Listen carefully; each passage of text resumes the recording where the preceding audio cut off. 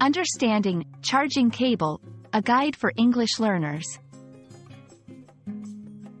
Hello everyone, and welcome to our English language learning series.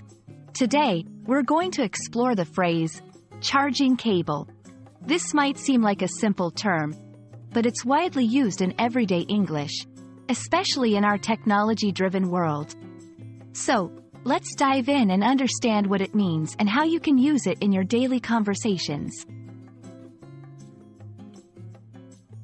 In this section, we'll dissect the term charging cable. Charging refers to the process of replenishing the power of a battery in a device. The word cable, on the other hand, is a length of wire covered by an insulating material used to transmit electricity or signals. When combined, charging cable means a wire that connects an electronic device to a power source to recharge its battery. Charging cable is a phrase you'll often encounter in contexts related to electronic devices like smartphones, laptops, tablets, and other rechargeable gadgets. For example, you might hear someone say, I forgot my charging cable at home. Can I borrow yours? This section will provide more examples and situations where you might need to use or understand this phrase.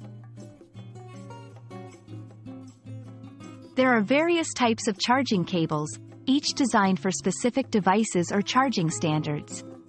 Some common types include USB-C, micro USB, and lightning cables. This section will help you identify these different types and understand which devices they are compatible with. Here, we'll address common errors learners make when talking about charging cables. For instance, confusing charging cable with power cord.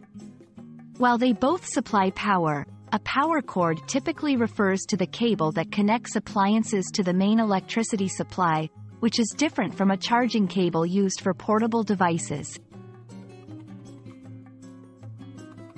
And that's all about charging cable. We hope this video has made the term clearer and that you feel more confident using it in your daily English conversations. Remember, learning a language involves understanding not just words, but the context in which they're used. Keep practicing, and see you in our next video.